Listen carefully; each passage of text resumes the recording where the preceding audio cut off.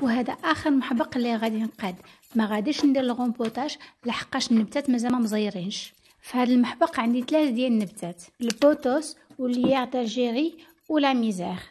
وباش زوين هاد النبتات بثلاثة هو أن نقدر نحطهم يطيحوا بحال شي cascade كما نقدروا نعلقوهم.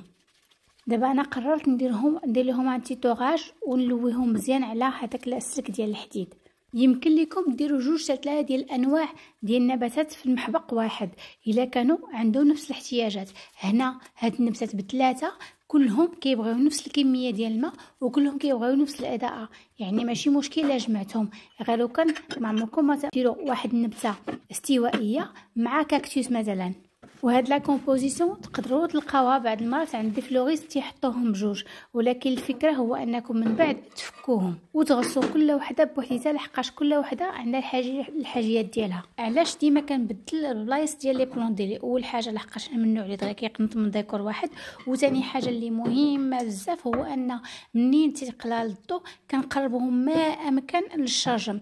دابا بدا الحال كي كيزيان والضو ولا مزيان واخا نحطوهم في le fond ديال le salon ماشي مشكل.